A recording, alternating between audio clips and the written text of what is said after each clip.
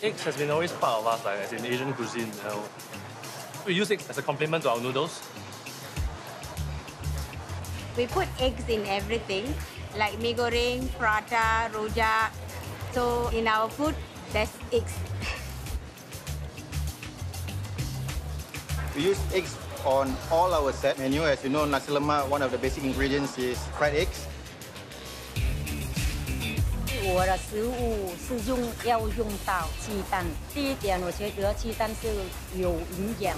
第二点呢，就是我的炸粿条 and Hokkien mee and carrot cake 也是要用到那个鸡蛋。我一个月的里面，我是要用到的十八千一粒鸡蛋。Per month will be nine thousand eggs. Two to three hundred eggs a day. Four thousand five eggs in total per month. I'm pretty shocked, but yeah, we are here, we are.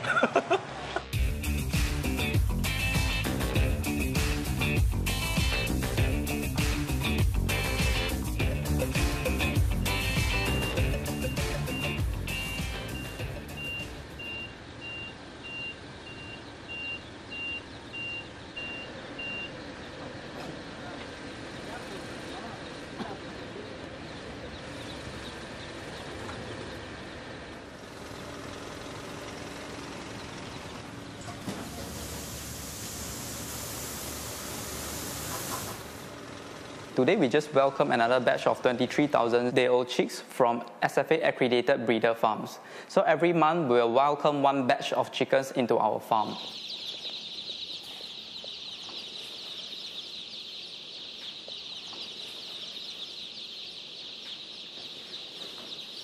I'm checking the chicks' condition.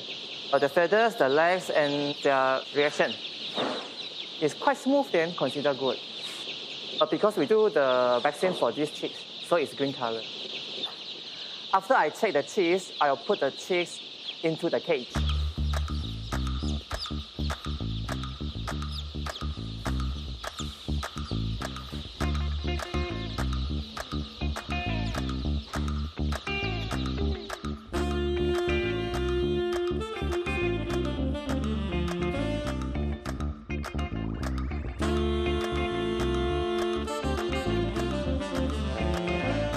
Our government set a big goal to produce 30% of our nutritional needs by 2030. It's challenging, but we must act now and not later on when we need more food. Eggs are one of the most nutritious food on earth and definitely one of the most affordable form of protein available. Eggs are also very versatile and it can be used widely in many cuisines. So it makes sense for us to include eggs in part of the, our 30 by 30 vision. Eggs are the few main food types, staples to Singaporeans, where most of us consume. It's also about strategically targeting at food types where we think in Singapore we have a good chance of producing it in scale.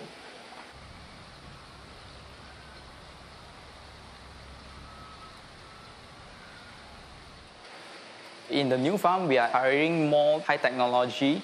For example, in our old farm, we have about 52 houses. And moving into our new farm, we only have about 26 houses.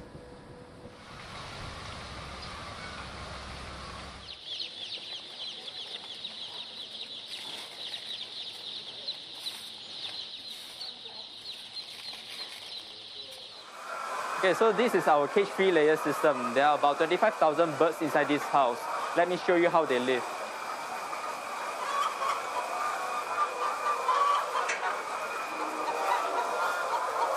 Please watch your way when you are going. So as you can see, the birds have the room to move around vertically and horizontally.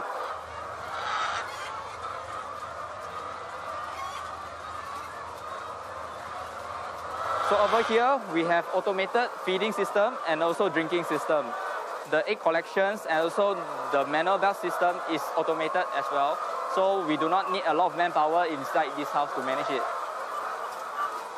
You may be wondering what's behind the orange curtain. That's actually where the chicken lay the eggs. Let me show you. Birds like very dark environment where they feel very secure so that they can lay their eggs in a very peace of mind. So after they lay the eggs, then they will come out, then the next birds will go in. We are expecting about 22,000 eggs to be laid every day. Normally, the, hens will start laying between like 8 a.m. up to like about 2 p.m. So this is the period where they lay. So we have to arrange our workers to be ready to pick the eggs once the eggs are laid. Okay, as you may realize, why are the hands I keep on packing on my yellow color boots? It's because the color of my boots look the same as the color of the feet. So they keep on packing on it, they thought it's the food. It's fully automated. In this control panel, we are able to see the temperature, the humidity, the air ventilations of the house. Other than that, we also able to see the feed consumption on that day and also the water consumption at that day. Our workers just need to go to the control panel to do some adjustment and we are able to manipulate the environment of the house. Automation is important. Our egg farms are probably the most technologically advanced. Most people don't realize this, but in the 70s, Singapore's poultry farming was considered amongst the most advanced in the world.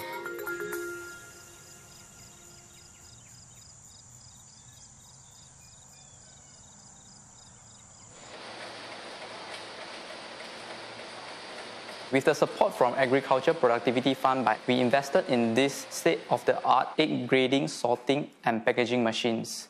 These machines have the capacity to grade up to 190,000 eggs per hour. This is more than double of our old farm's capacity. We have this egg inspection.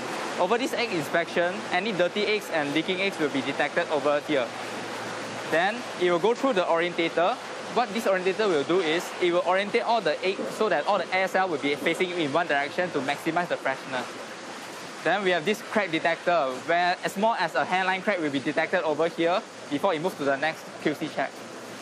Over here, we will have the UV disinfection. So all the UV ray will kill all the microorganisms on the surface of the shell.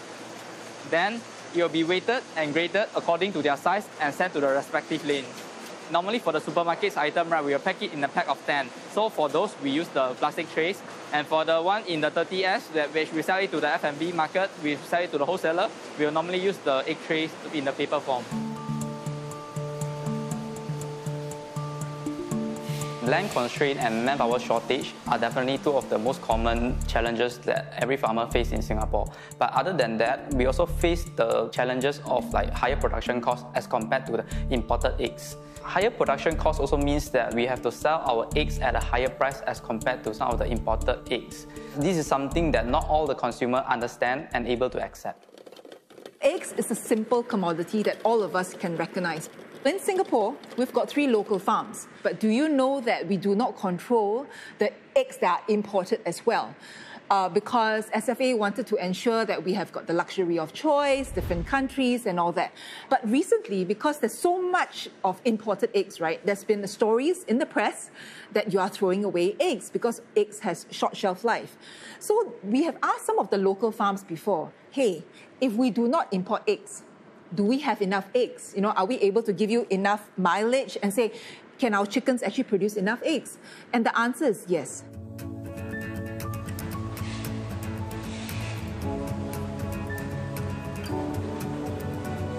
Our new farm has the capacity to produce up to 1 million eggs per day.